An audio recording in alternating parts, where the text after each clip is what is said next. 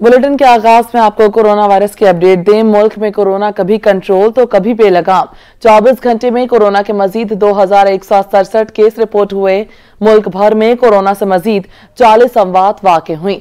Corona से मुतासर 4,840 मरीजों की हालत तशवीशनाक बताई जा रही है। मुल्क में कोरोना मजबत केसेस की शरह चार आशारिया दो दो फ़ीसद रही। कोरोना सर्टिफिकेट के बिना बीआरटी का सफ़र नामुमकिन हो गया। आज से बीआरटी में सफ़र करना वैक्सीनेशन सर्टिफिकेट के साथ मशरूत कर दिया गया।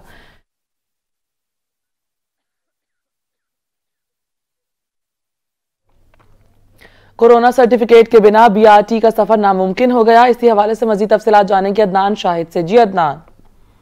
पिशावर में कोरोना के बढ़ते हुए केस के बाद बीआरटी में सफ़र करने वालों के लिए भी नए जो एस ओ पीज है, वो जारी कर दिए गए हैं। पहले तो था बाकायदा तौर पर जो बी आर टी से सफरी सहूलियात का रास्ता हो रहा था, उसको मास्क जो था वो इस्तेमाल का लाजमी करार दिया गया था। मगर आज से जो है बी आर टी में जो भी शख्स सफ़र करेगा, वो बाकायदा तौर पर कोरोना सर्टिफिकेट दिखाकर जो है, वो सफ़र करेगा। उसके बाद अगर ये इनके पास जो सर्टिफिकेट हैं, जो कोविड सर्टिफिकेट हैं, वो नहीं होंगे, उनको बस में सफ़र करने की इजाज़त नहीं होगी। न सिर्फ़ बी आर टी बल्कि जो फीजर रूट से चलने वाली बसें भी जो मशहूर सर्टिफिकेट और जो भी इसकी खिलाफ वर्जी करेगा, उसके खिलाफ जो है वो कार्रवाई भी अहकाम जारी कर दिए गए हैं। जी।